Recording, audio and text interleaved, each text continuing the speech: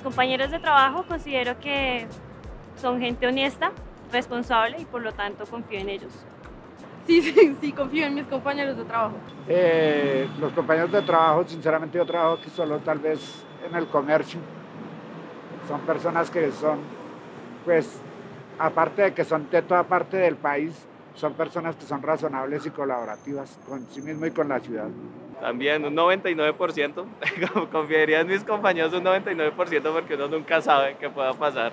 Uno de todas formas siempre tiene que tener algo, algo que lo proteja de lo desconocido. Mm, yo tengo una empresa independiente y ahorita no tengo compañeros de trabajo, pero sí tengo socios y sí confío en ellos.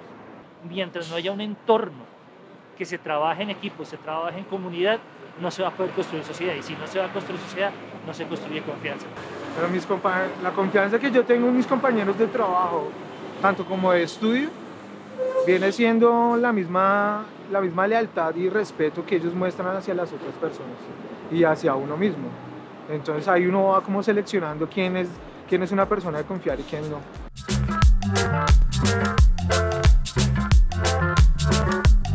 Es, débil, es muy importante.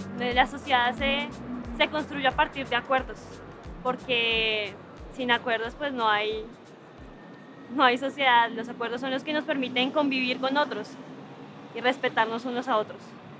Sí, es importante hacer acuerdos, aunque confío en la palabra, pues me parece también importante los acuerdos firmados y los acuerdos en papel. La década pasada el país se desfragmentó y todo el mundo cogió la individualidad y en Bogotá se evidencia eso, muchísimo. Todo el mundo está por su, por su lado, por cada uno por su lado.